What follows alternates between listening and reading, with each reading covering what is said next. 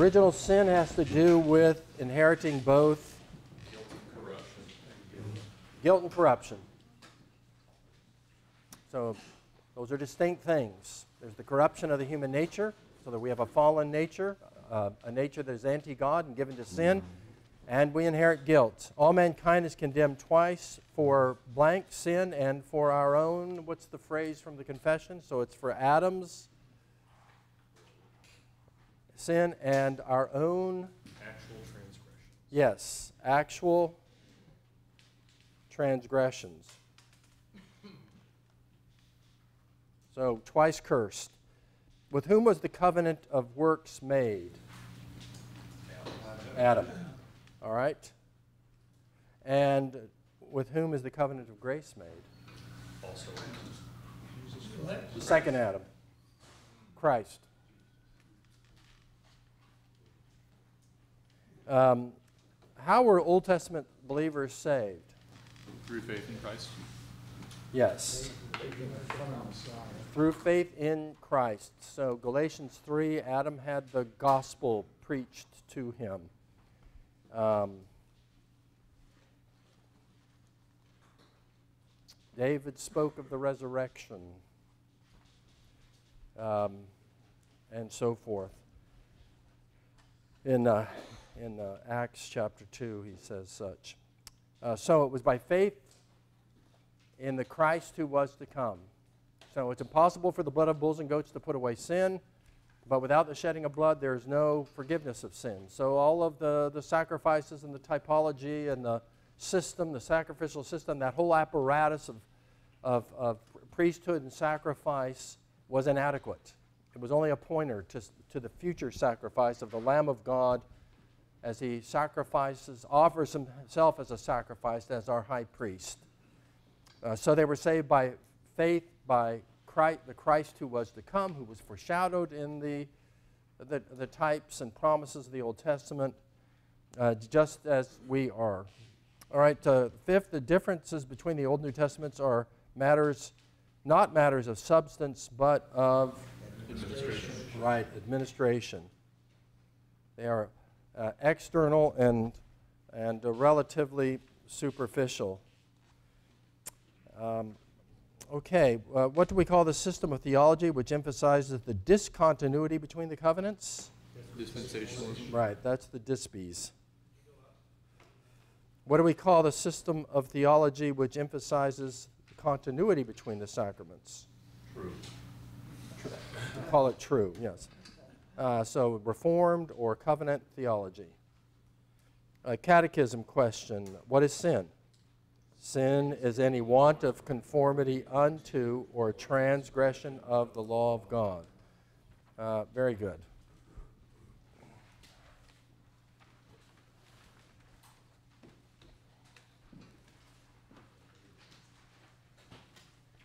Couple of uh, just underscoring the, the, you know, the concluding questions from last week.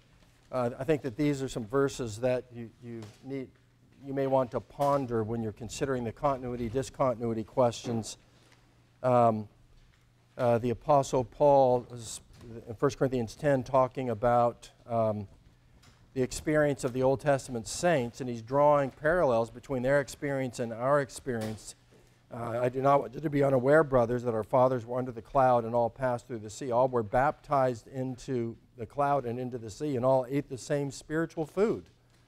and then he goes on, and yet some, some fell. Um, verse 4 says, uh, They all drank the same spiritual drink, for they drank from the spiritual rock that followed them, and the rock was Christ.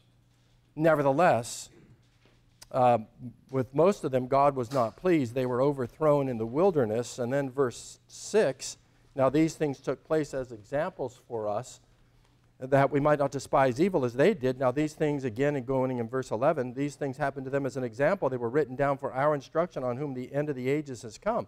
In other words, there's continuity between their experience and our experience. They, they couldn't serve as examples for us unless their, ex, their experience was fundamentally the same. That's his point.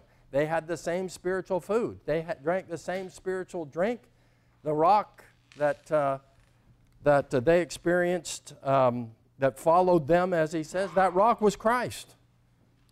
And so that's an example for us. It's, if, if, if there was such discontinuity between their experience and our experience, they couldn't serve as examples. We'd say, oh, well, that was the Old Testament. Oh, they were so different from, we, from what we are, then we really have nothing to learn from them because there's, uh, there's, there's so, much, uh, so much distinguishing what, what they uh, experienced and, and uh, the gifts that uh, they enjoyed uh, and the, um, the benefits and the means of grace that, that um, characterize that era that we would just say, oh, well, that's, that, we can just, just, just dismiss that. We, we would never do what they did. We wouldn't ever show weakness like they showed weakness. And he's just undermining that whole argument and saying, look, they ate the same spiritual food we eat. They drank the same spiritual drink we drink. And they, they were following the rock, and the rock was Christ, but they fell. Therefore, verse 13 of 1 Corinthians 10, let the one who thinks he stands take heed lest he fall. If they fail, you can fall. If they can succumb to temptation, you can succumb to temptation. You can't say, well, they had this inferior experience.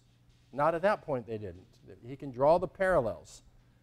All right, and then in, in terms of the discontinuities, I think that the, the text above all that invalidates any attempt to bring Old Testament uh, temple based type, typology into the New Testament is what Jesus said in John 4.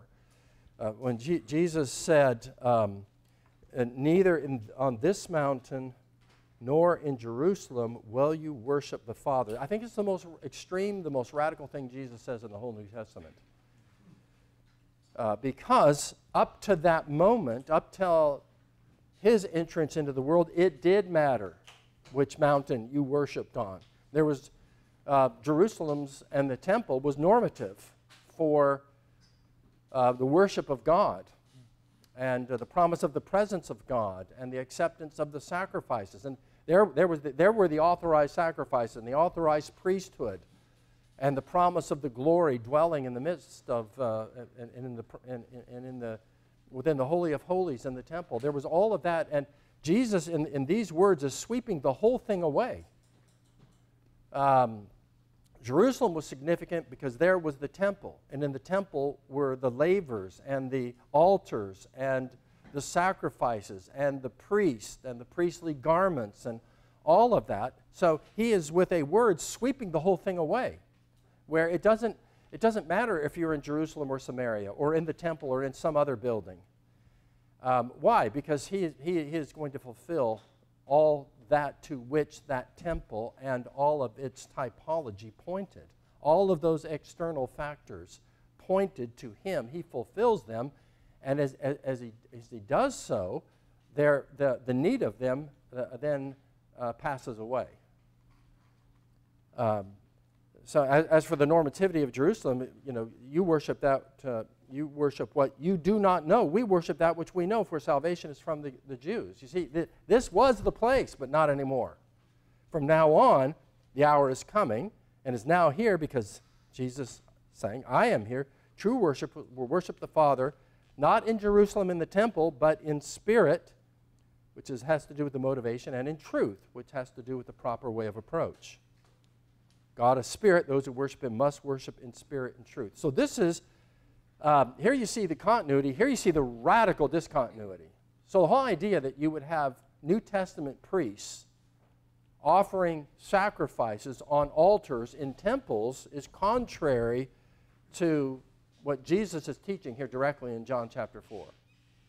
We don't have a temple, we don't have a priesthood, we don't have sacrifices, we don't have lavers, uh, we don't have a priesthood. Okay. Terry, so, in, in dispensationalism, is it accurate to say that um, the each new covenant, of which I mean they have several typically six or seven or eight dispensations. Can, can you say that each new covenant in dispensationalism comes about because of a failure or a weakness of the previous covenant? Is that, is that accurate to say that, or? Um, I, think it is accurate. Um, I, I, think that it, it uh, in, with each, each new dispensation, there are new principles at work.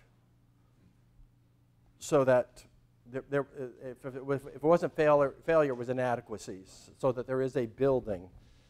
But, um, I mean, the major dispensation, dispensational difference is Old Testament and New Testament. That's law.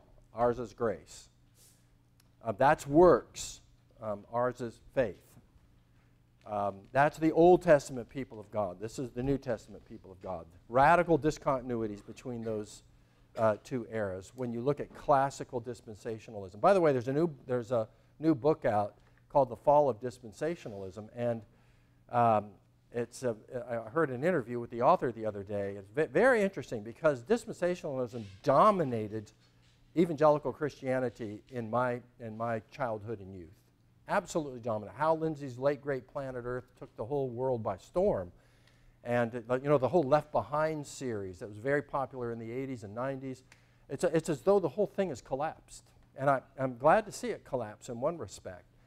Um, be, be, but I, I, think that theologically it was just um, implausible. It was just it failed at point after point, biblically speaking. So, what will replace it? Yeah, who knows? Um, hopefully, Reformed theology, covenant theology. The, the, alternative to bad is not necessarily good. Yeah, it might be unbelief. Yeah, yeah. Why did it fall, or why has it fallen? I'm saying I think it fell because ultimately it biblically wasn't plausible, it wasn't accurate. There were too many arguments against it. It failed to see the continuities. It saw discontinuities where there weren't discontinuities, and and and so um, it, it, it, uh, it, couldn't stand the weight of exegetical, uh, interpretive weight. So, so to, you know, to, to, to, say that there's no normativity of the law in the New Testament, for example, and to say the Old Testament saints were saved by, by law keeping, it's just, um, it, it, it, doesn't add up. Terry, do you know that author? Uh, not offhand. Okay. The, the other thing. Because I'm um, seeing one by David Hummel, The Rise and Fall. That's it the, um, the rampant predictions of Christ's imminent return in like the seventies and eighties all failed. None of them came true, and it just so. Right. So for you younger guys out there, I still think of myself as very young.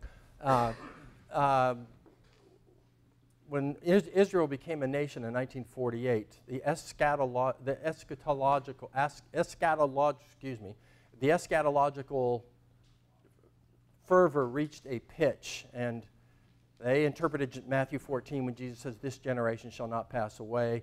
And they interpreted the, form, uh, the forming of a Jewish um, you know, republic in, in Israel as the fulfillment of that prophecy of the last generation. And so they said 40 years from 1948.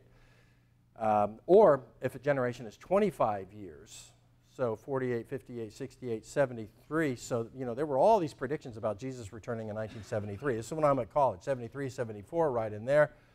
I attended the, the Light and Powerhouse, which was Hal Lindsey's school on the UCLA campus. The Kappa Sig House had been taken over by Lindsey, and he had a, a small faculty, and I, I lived there for a summer and took classes.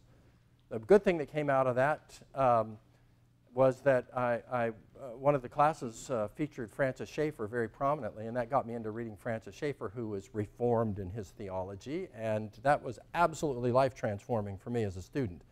But at the same time, I was taking these classes from Lindsey, and it was just, you know, they were just head scratchers. I just, you know, even me with a mind full of mush as a, you know, soon to be a junior in college, it just, you know, it just did not add up to me. And and I think that ultimately this, this was the problem of dispensationalism, is it just couldn't stand the weight of the scriptural evidence for the discontinuities and continuities in the New Testament. As for Jesus, you know, fulfilling, he is the Lamb of God who takes away the sin, the sin of the world. He is the temple. He is our great high priest. Um, he is our Passover connection with the uh, religious holidays and um, here, here's uh, the uh, circumcision as functioning as baptism uh, does um, in terms of the again this the uh, differences of, of administration are, are external uh, sign and seal of the righteousness he had by faith while he was still uncircumcised yet he applies it to his son So when we get to baptism, we'll, we'll look at that. It's a sign and seal of the righteousness he had by faith, but he's commanded to apply it to his eight day old son. How does that make any sense? Unless there's some um, solidarity of the family within the covenant that, uh, that um, makes way for permission to do that and, the, and, the right, and, and for that to be right and proper. Um, uh, uh, Colossians 2, we see the same circumcised with a circumcision made without hands by the circumcision of Christ, having been buried with him in baptism. Baptism um, being the equivalent of circumcision. So there, there's, the, there's the difference in the external functioning the same, and here is the spirituality of circumcision in terms of its uh, primary meaning, and yet it's being applied to infants. All right, so leaving that uh, behind, let's press on. Question number 14.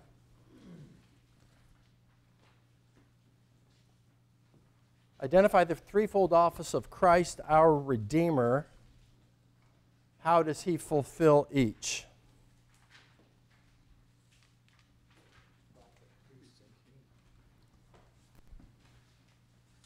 So, what are the three offices? prophet, priest, and king. All right, and how does he fulfill each? So the prophet, he declares the will of God. And as the priest, he mediates and is the sacrifice that's necessary. And then as king, he reigns over all things. Right, right. And so that is typically, um, the threefold office is typically uh, attributed to Calvin, but as it turns out, there's actually deeper roots. If you read your notes, um, there, there's uh, evidence of this among the church fathers, amongst the medieval theologians, and then um, amongst uh, the earlier reformers. But Calvin seems to have been the one who put the three together in a kind of emphatic way, memorable way. And so it's often attributed to him. But it is a very handy way to look at what Christ came to do. Is he a prophet?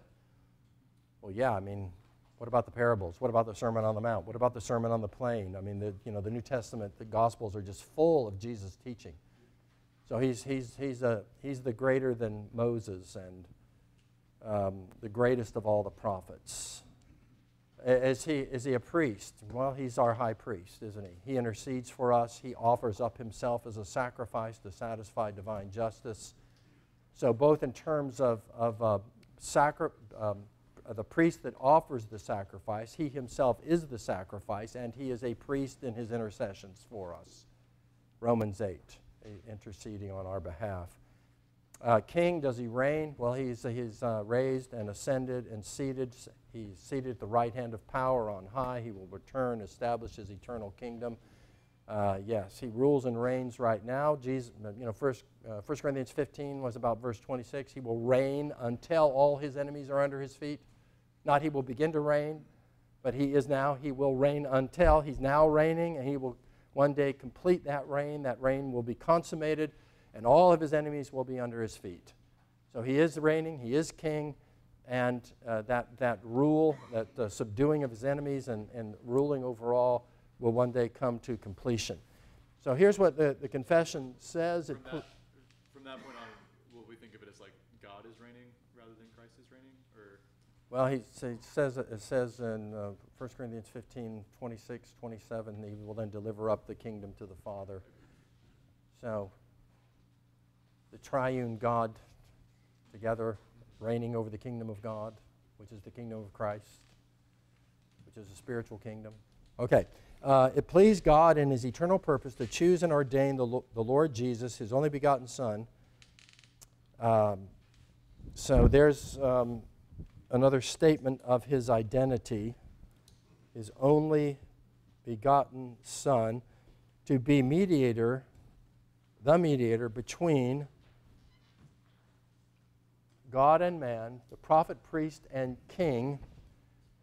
Uh, so, amongst the theologians, they speak of their officium triplex, the threefold office prophet, priest, and king the head and Savior of the church, the heir of all things, the judge of the world, unto whom he did from all eternity give a people to be his seed and to be by him in time redeemed, called, justified, sanctified, and glorified. Comma, the one Christ and only mediator between God and man. All right, question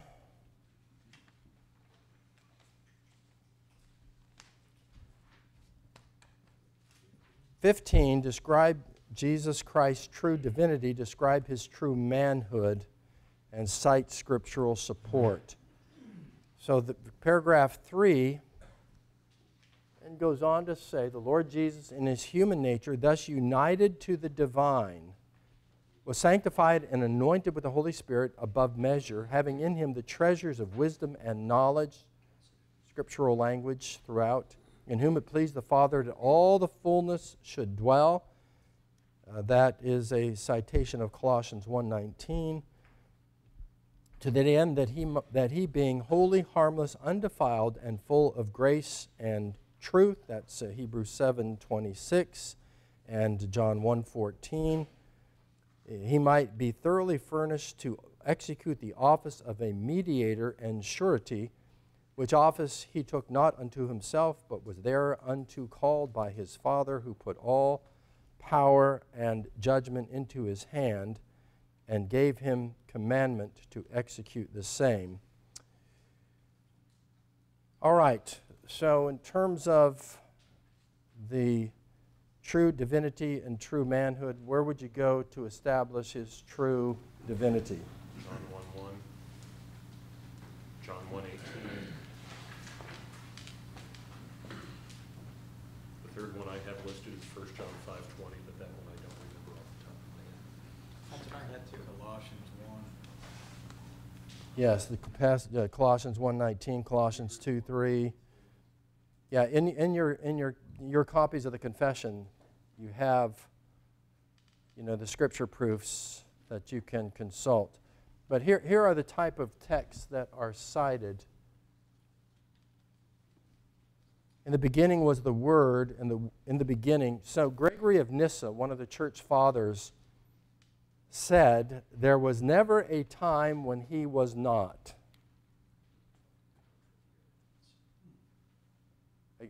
Against the Arians.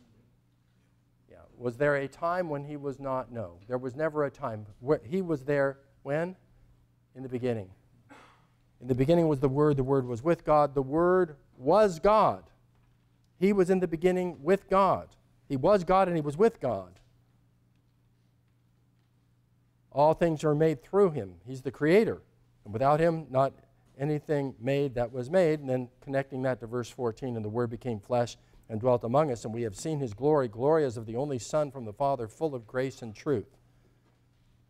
Um, as for the dual nature, uh, when the fullness of time came, God sent forth his Son, born of a woman, under the law. There's the human and the divine. God sent forth who? Sent forth his Son, but she was born of a woman. The divine nature and a human nature. Um, Colossians 2 9, in him the whole fullness of deity dwells bodily, human and the divine. The fullness of deity, but bodily. There's the union of uh, divine nature and the human nature. Uh, Hebrews 1 3, he is the radiance of the glory of God and the exact imprint of his nature. And he upholds the universe by the word of his power. Um, you know, an- another line of argument that we looked at when we were looking at the doctrine of the Trinity who is it that made all things and providentially um, upholds all things, upholds the universe, if it isn't God? I mean, these are, these are like these are these are God's jobs, right? He makes everything and he governs and upholds all things. And if that's attributed to the Son, the Son must be God, because that's God's work. If there is anything that's God's work, it's creating all things and governing all things. And yet that's being attributed to Christ the Son. Uh, Philippians 2 uh, 5 through 8. Um, I, in addition to your notes, I've added a discussion from B.B. Warfield in his uh, very, very learned sermon called Imitating the Incarnation, an exposition of this passage, uh, Philippians 2, uh, 5 through 8, um, where the Apostle Paul says, Have this mind among yourselves, which is in Christ Jesus, who, though he was in the form of God, that's the word morphe. So in, in Warfield's discussion, he points out that in Greek thought, everything was divided into, uh, um, into form and matter. You have, you have the um, sort of the distinctive that makes the thing what it is, and then you have the stuff out of, what, out of which it's made. So in that, in that discussion, if you take a sword, for example, um, it is steel that makes a sword a sword, and, it, and it, so that would be its matter, and it shares steel with, you know, with uh, hammers and axes, and but the thing that makes the sword the sword and differentiates it from other tools made out of steel is its morphe. So it's the swordishness of the sword is, is, is what would be identified with morphe. So, so uh, Warfield argues with the Apostle Paul using this word, he is saying that, that, that he was in the, in the form of God means that the thing, those distinctive qualities that make God God are his. The distinctive things that make God deity, that separate, say, God as spirit, separate God from all other spiritual beings and all other beings, that is what characterized the Son of God in eternity. He was in the morphe of God. Yes. Did the Old Testament Jews know, or should they have known, that the Messiah was going to be God, or did they only find out when Jesus told them that he was God? Psalm 110. They should have known from Psalm 110, right? Daniel 7. I think they could have pieced things together, but I think, I think the fullness of the doctrine of the Trinity is a New Testament revelation. Because I mean, I know Jewish people have answers for all the Old Testament passages. Yeah, Psalm 110, the Lord has said to my Lord. Jesus cites that. What, who, who's, who is the Lord's Lord? Um, he, he, cites that as prophetic of himself. So, I mean, I, yes, I mean, the Psalm, uh, Psalm, 6, uh, Psalm 16, you know, the, Psalm 16, Psalm 2 are cited in Pente- at Pentecost in uh, the Christian sermons. Psalm 110 is cited. All these are, are cited as prophetic of what Christ would do and his identity. Um, Psalm 2, he's the Son of God. He's the Son. Today I have begotten thee. It's cited at Jesus' baptism, uh, as well as at the Transfiguration. So, I, you know, I, I think how many of them understood the fullness of the you know, of the, uh, the dual nature of Christ. I don't think that many of them put all that together with that kind of accuracy. I think they had kind of a, a dim awareness that uh, we, we shall call his name Emmanuel, you know, from Isaiah, God with us. The virgin shall be with child. So there's, you know, the hints are there. Whether or not they could put it all together, um, we don't know. Like the disciples didn't know if they were his disciples, at least until after the resurrection. I think Yeah, so when they, when they were, when the disciples, who most were um, good Jews, when they were, when they were looking for the Messiah to come, what, what were they look, what were they looking for? Were they looking for just a man or? Well, and, and it would be a very hard sell to any Jew that a man could be God. Yeah. Because if, if anything is fundamental, it's the distinction between God and his creation.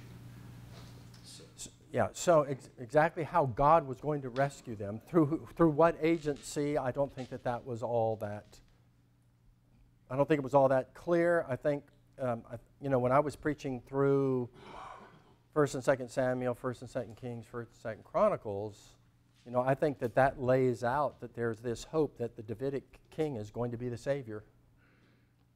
You know, exactly what would be his full, the fullness of his nature. I don't think they understood that, but they understood that through David there would be a Savior that would come. And, um, you know, there's the, there's the disappointment. It's one after another is a failure. And isn't that uh, deliverer, isn't that Savior?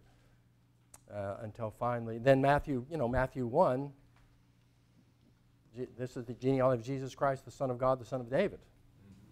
But it, it also that the disciples of John the Baptist were asking Jesus for John if he was the one, and Jesus, Jesus' response was, "Go tell John what you've seen: the, the, the lame walk, the blind see, the deaf hear." So they know he's some, some, whoever was supposed to come was going to be somebody very. Right. Those are those are citations from Isaiah. Is it Isaiah 26? I forget exactly. But anyway, they, yeah, those are drawn right out of Isaiah's prophecies. So yeah, the evidence was there. Uh, how many of them put the whole thing together? I think there was a among the faithful there was a general trust that God would save His people and that He would provide salvation, not just uh, not just political salvation, but um, spiritual salvation, salvation of souls, a Savior for them, and establish His kingdom. Okay, but back to Philippians 2 5 through 8. Um, he did not count equality with God a thing to be grasped, but emptied himself by taking the form of a servant. He was truly a form, in other words. He was the, uh, uh, the his, um, the, the, uh, uh, uh, that, that which makes a servant a servant was characteristic of him, and he humbled himself by being, or rather, uh, by taking the form of a servant, being born in the likeness um, and Warfield argues that the word likeness there is, is indicates is used because of the the intention to indicate that he was truly man, but not only a man. Um, but so a man truly, but more than a man, and that same for, uh, form of that word is found. We'll look at this at Hebrews 2:17 in a minute. After being found in human form, again, they're truly human. He humbled himself by becoming obedient to the point of death, even death on the cross. Hebrews 2:17, he had to be made like. So this likeness and like his brothers in every respect. So again, the human and the divine being united in uh, the person of Christ. Uh, Romans 9:5.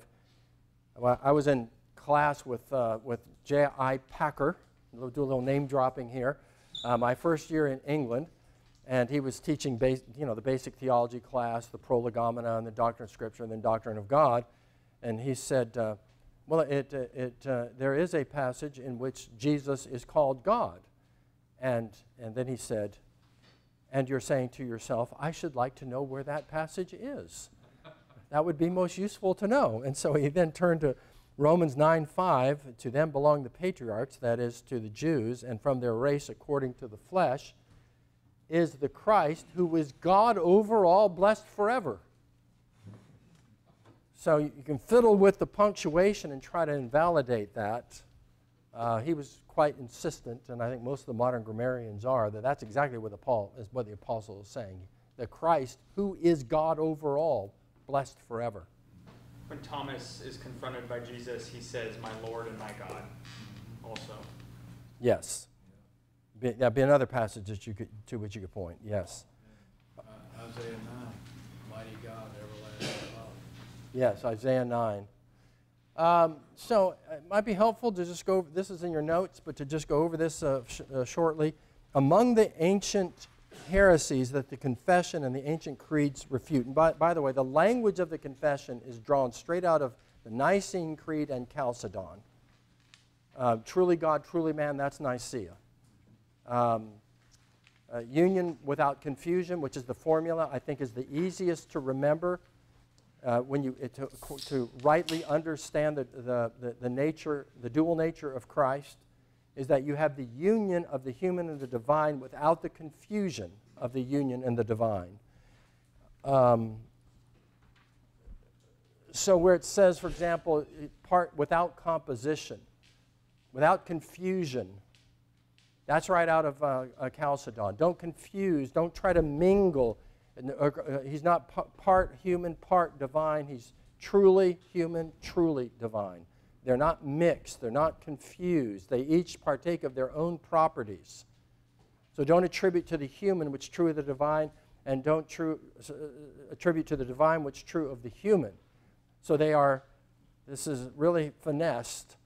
So another thing Dr. Packer says, my revered theology teacher, um, is, is that the most difficult intellectual task the human race has ever had is, was formulating the doctrine of the Trinity and of the dual nature of Christ.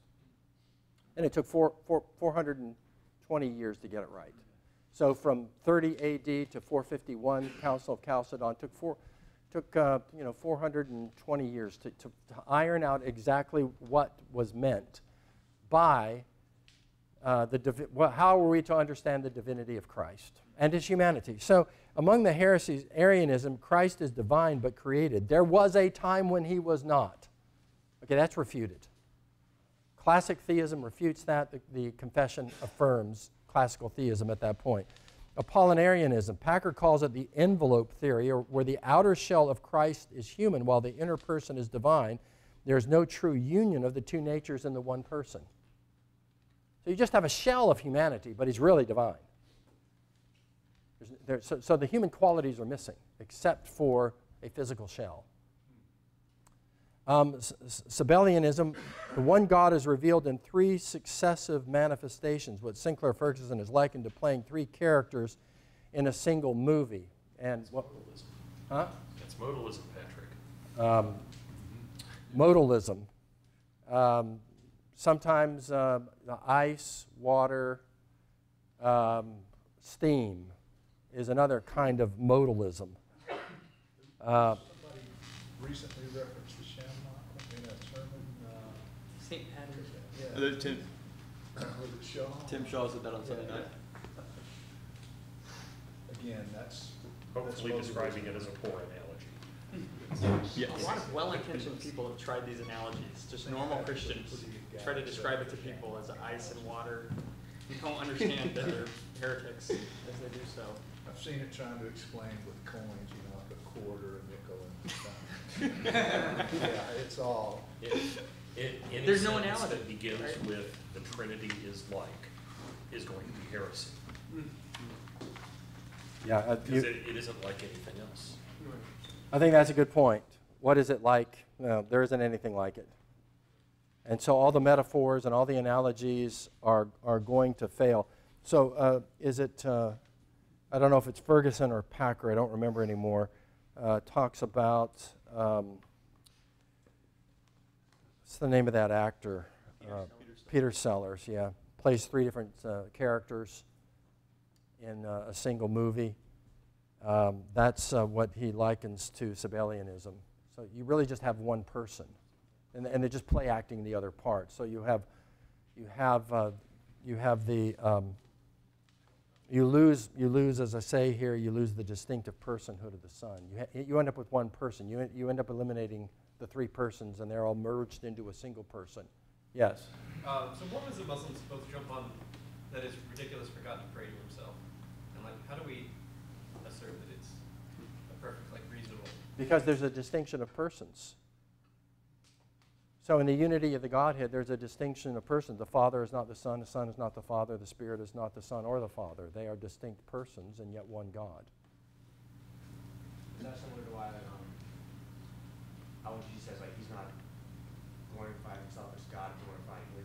Is that saying like the relationship? I guess, in terms of- Yes, there, yes, a distinction of persons. There is, um, you're, there's, there's the union, but without the confusion in terms of the nature of Christ, but there is also distinction of persons. Three persons in the Godhead. They are of the same substance. They are equal in power and glory, but they are distinct persons. And they can't be merged into one person. They have fellowship within the Trinity, They do. so, so they're not dependent on us in any way. Right. John 17 speaks of the, you know, the fellowship of the Father and the Son that they had from all eternity, eternally delighting in each other, eternally uh, enjoying each other, and not, uh, and so without need. Um, uh, Nestorianism, what Packer calls the Pantomime horse theory, two persons with two natures dwelling in a single shell, rather than one person with both human and divine uh, nature. So, so what the heresies tend to do what the, her- what the heresies tend to do is they tend to uh, either, um, they, they, they will tend either to confuse the natures or to separate the natures. And so, so separating them and not understanding the proper union or uh, or, the, or the opposite. In other words, you have to have union but not confusion. Um, you have to have distinction, that, uh, an understanding of distinction that nevertheless is compatible with union. There's Is that what I'm also? Eutychianism, which is the one that combines the two so that it all into one new nature. Yeah, I, I need to add that one to my notes. Yeah, go, what, t- describe that again, would you? Eutychianism, so the nature, God nature, man nature is combined into one new nature, so both are lost and just completely confused. E U Y, E U Y. Yeah, Eutychianism. You, you all got that. E U T Y C H I. That's what I was thinking. Eutychius. All right. Question, yes. Um, What, what would be, are there modern successful manifestations of these heresies, or are they, Jehovah Witnesses, Mormonism, uh, Hin, um, Islam, um, all, all of them fail to understand the divinity of Christ. And then there's a lot of um, One is Pentecostal. Jesus only Pentecostals. yes, Jesus only Pentecostalism. is, is that oneness Pentecostal? And Jesus only, is it the same thing? Iglesia Ni Cristo in the Philippines um, are in the same thing.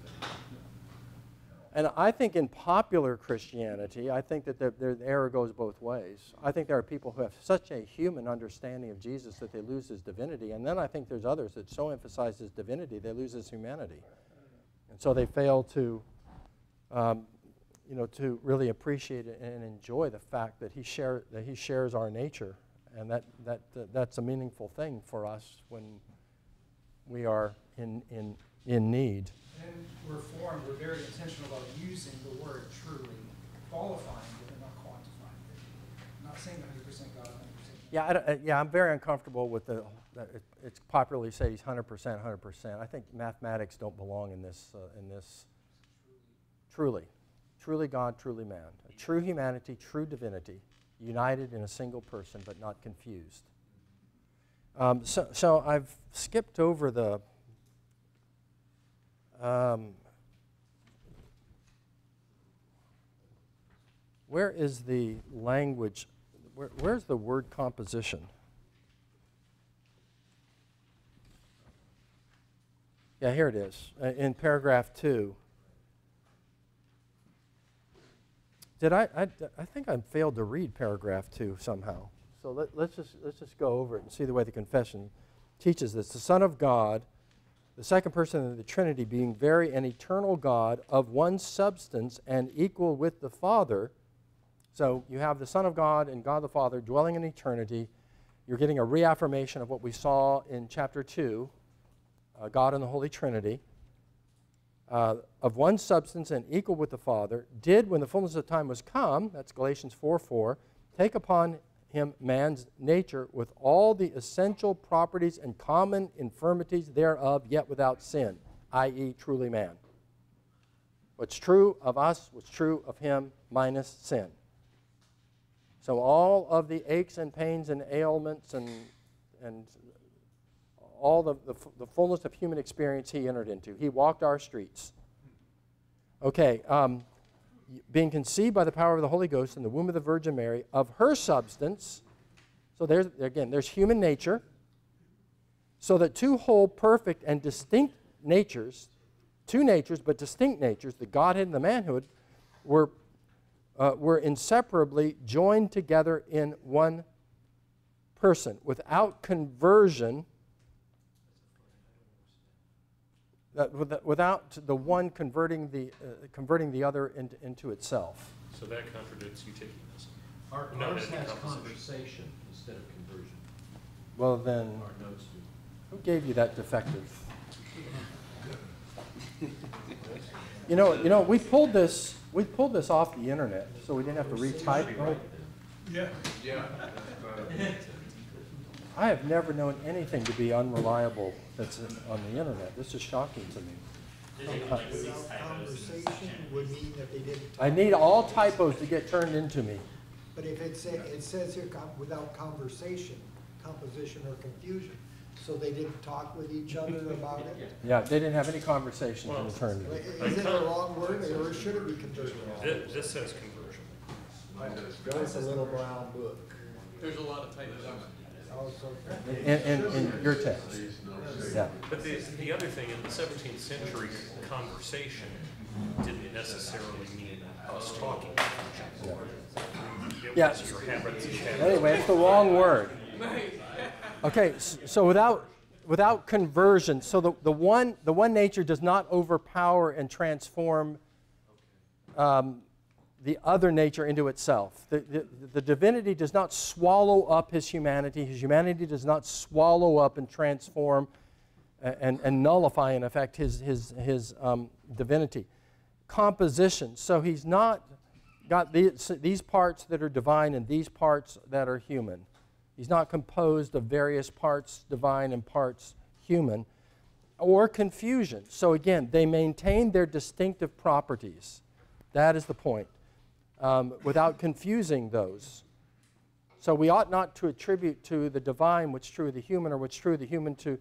So, so when, when, when, when, when Jesus was thirsty at the well, God was not thirsty. Does that make sense? Does that make the point? He was not, the divine nature was not thirsty. He- the man, the human nature, in his human nature, he was hungry. The person, Jesus Christ, who is human and divine, was thirsty, but the divine God was not thirsty. I think it's right also to say that at the cross, God did not die. God entered into the death of man. Divinity was not extinguished. Divinity did not uh, cease to exist. Divinity could not cease to exist. So we'll, we'll get to that when the description of the, of, of the, of, of the, uh, you know, of the work of Christ. So, so Christ died the death of man. He didn't die the death of God.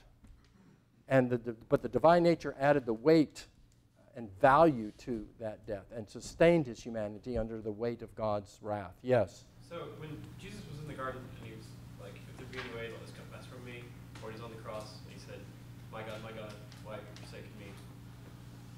Was that affecting both natures, or was it only affecting one of his natures? I think the pain and suffering is, is the person, in the person, the suffering was taking place. The person is human and divine, but he experiences it through his human nature. Terry, you s- And, and by virtue of the union, the divine nature participates in it but doesn't suffer. A few Yeah. months ago, you spoke on the podcast about the, the Gentle and Lowly book. And if I remember what you said there, you critiqued it because on the emotional analysis of that book, it was missing the distinction of Christ's emotions being from his human nature. Is that, is that, is Yes. that accurate? Well, my, I haven't read it carefully enough, except that I did check those portions, and I went back and I would happen to be reading Thomas Goodwin at the same time that that book is based on. And Goodwin is very careful to distinguish between what's properly attributed to the human nature of Christ versus the divine nature. So, so Goodwin's a very careful theologian, and Dane Ortlund was a less careful theologian. The impassibility of God Yes. is in the divine nature of Yes. Christ and isn't a place where he feels the things that were discussed in that book. Is that right? As I understand what you said, yes. Okay, let me keep, continue to re- read. Uh, without conversion, composi- uh, composition, or confusion, which person is very God and very man, yet one Christ, the only mediator between God and man. Uh, the Lord Jesus, in his human nature, thus, thus united to the, the, to the divine, uh, was sanctified and anointed with the Holy Spirit. We read this already, but let's just look at it again. Above measure, having in him all the treasures of wisdom and knowledge, in whom it pleased the Father that all the fullness of deity should dwell, to the end that, being holy, harmless, undefiled, and full of grace and truth, he might be thoroughly furnished to execute the office of a mediator and surety, which office he took not unto himself, but therein called by the Father, who put all power and judgment into his hand and gave him commandment to execute the same. Okay, um, So is, is God, is Jesus in heaven with his physical body at the right hand of? yes. Okay. so Yes. Body right there. Okay. Yes, I, yes, and I, I think that that is, is um, very a rich subject of, of, of meditation. That at the right hand of God is a man who is pleading on our behalf, who understands. I mean, that's the point of Hebrews 2, 17 and Hebrews 4, you know, 15, 16. Um, he's, a, he's, he's, you know, that, that's, that's, Which is another reason that transubstantiation has to be false. Or even the Lutherans that people. right, because That.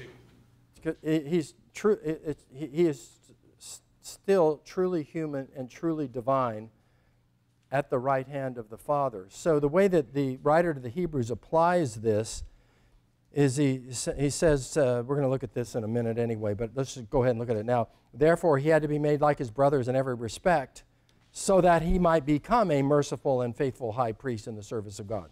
Get get the point? Made like his brothers in every respect to make propitiation for the sins of the people. For because he himself has suffered when tempted, he's able to help those who are being tempted. So there's the practical difference that is made when we understand the full humanity as well as the full divinity of Christ. He's able to help, and, and he's inclined to help. He, he, he understands exactly what it is to be human. Um, so again, Hebrews 4 uh, we do not have a high priest, verse 15, who is unable to sympathize with our weaknesses, but one who in every respect has been tempted as we are. So he's able to sympathize with our weaknesses, yet without sin. Let us then, with confidence, draw near. Why with confidence? Well, because he understands our weaknesses. He sympathizes with those weaknesses. He has been subject to those weaknesses, those temptations, yet without sin. So we can draw uh, near with confidence to the throne of grace that we may receive mercy and find grace to help in time of need. So this, this is one of, the, uh, one of those points to me at, at which you see the practical difference a proper theological understanding makes in terms of living the Christian life. I mean, that, that, that directly impacts your prayers to know that. Yes? The, so the Christ is at the right hand of the Father physically, but could we also accurately say the Spirit of Christ is with us still, or is that the Holy Spirit? But, but what I'm thinking of is, lo, I'm with you always, even to the end of the age. So is he saying, me by the Holy Spirit? Yeah, he by the Holy Spirit. The Holy Spirit is his representative. Well, that's why it's called the Spirit of Christ, because he is Christ's agent, his comforter. I will, I will send to you another comforter. Yeah, um, The Roman Catholics miss this incredibly with their need for um, approaching God through Mary. She's more uh, understanding and, and Boettner says they completely miss uh, the approachability of Jesus in the Gospels, even, even as he walked the earth, how approachable he was by everyone. And they, you know, just to not see that is, it's a huge blind, uh, blind spot. And So- they pray to Mary, save us from your son. I think, I, I, I think that the, vul- the vulnerability of the church to um, an alternative intercessor has to do with an overblown understanding of the divinity. It's where the divinity of Christ has swallowed up the, his humanity. So the medieval Jesus, you can even tell by the, the medieval art, such as it was, he's aloof, he's distant, he's remote. And, but, but Mary, I mean, look, at- look at her in John 2 with the, the water into wine. They go to Mary because Mary's approachable. So we go to Mary and they say, Tell Jesus to do something about, you know, we've run out of wine. Can he, can he do something about that? So they take that as a model because Jesus is scary. Jesus is, I think it's, a, it's, a, it's a, again, it's an overblown, it's a, it's a disproportionate understanding of the, the union of the human and the divine. Thomas? Can we just can we say that we have Jesus because we have the Word, like the Word is God, like we have the Word in our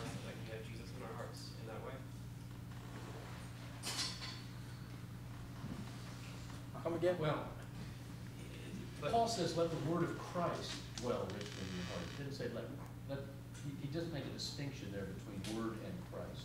He does make a distinction. Let the word of Christ dwell in you richly.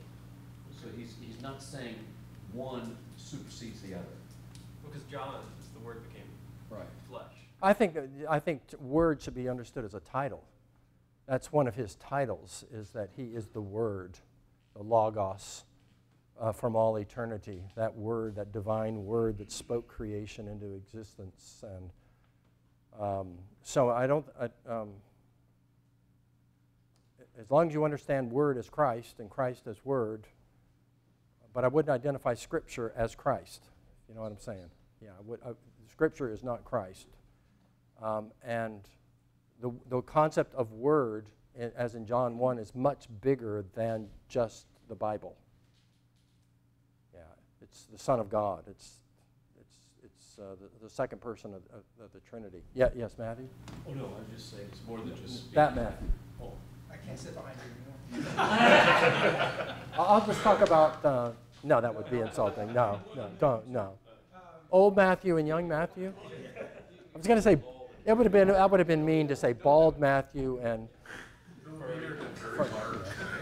Matthew. Young Matthew. Matthew the younger.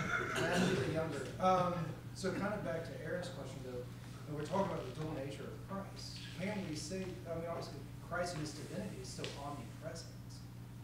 It's not that the Holy Spirit isn't, and then again, the three in one, and we talk about the Trinity and all this other stuff. So truly man, he is in one place, he's not, he doesn't have ubiquity, he's not ubiquitous, but Christ in his divinity is still omnipresent. You know what? I'll up, I'll up, one up you on that. In that, with Dr. Old studying the sacramental theology of the reformers, in the end, I concluded, I have no more authority for this than I concluded, that the difference between Zwingli and Calvin is that Zwingli believes that in the Lord's Supper, Christ in the fullness of his divinity is present. Calvin believes Christ in the fullness of his divinity and humanity is present spiritually. Spirit is we're truly, right, in that we're truly spiritually partaking of. The Spirit of Christ is truly God and truly man, as well as is Christ incarnate. And that at the Lord's Supper, you get the whole Christ. You don't get just his divinity, you get his humanity spiritually. Still different. Which has to be because they are inseparably joined. They are inseparably joined. So to, to wrap all of that up, you would have to say, there are many, many things that we must affirm without being able to logically reconcile them all to each Uh, other. We still have to affirm them. Yes, and uh, did I draw the little circle with the dot inside of it? I- um, Are you gonna give us a Trinity analogy? This, this, this, this is another Packerism. Uh, if, if, if the, the, um, this circle represents uh, the truth. Uh, the truth itself is right here. We know that everything out here is error, and inside here is truth, but we can't exactly pinpoint it. So we know all this stuff out here, it's all wrong. Um, and we know the truth lies in here, but we can't get very precise about it. So we get as close as we can, and we, and we shouldn't expect to get too precise because we're dealing with the infinite and we're finite. We just, we just can't know. We, we can only take these things so far. Yeah, excuse me? If we understood it, we would be God. Yes. All right, And let's. didn't Jesus say, suffer the little children to come unto me, for of such is the kingdom of heaven? They don't understand all these intricacies. They just believe with all their heart that what is true is true about God. And- Just so you don't make that an, an, an excuse for, for being simplistic. All right, and settling for a child's understanding when, in fact, God has, ha- has much to say about himself that he means for us to understand. So that we can glorify him more fully because Yes. we understand the perfection and the intricacies and the incomprehensibility of God? Yes. Okay. Yes. Even if we only can draw the circle and, and In, Okay. in fact, as we grow in that understanding, I think relative to all that could be known, we're probably still closer to the child than we are to. Right, that's why Calvin says God lisps at us. Yeah, he just babbles and teach, speaks baby talk. We'll spend the rest of eternity and still never fully get to know God. Right, right. So, Most of eternity. so you've, you've opened the door, Matthew, for me to use Big Sur as an analogy, which I love to do. When you drive down Big Sur and you turn a corner and you get out of your car and you look, it's absolutely, it's the most beautiful thing in the whole world. Absolutely breathtaking, the cliffs and the water and all that. And you go around the next corner, it's a whole different vista. And it's absolutely breathtaking. You go around the next, same thing. You can, I wanted to pull over every couple of hundred yards. And you go on, and. I think that's, an, that's what I think eternity is going to be like. You will never exhaust the beauty and the glory and the wonder of God. It will go, because He's infinite. This this gasping grasp of beauty just will go on forever and ever and ever and ever. It'll never be exhausted. It'll never be anything less than thrilling and moving and exciting and breathtaking and wonderful. All right, let's take a five minute break.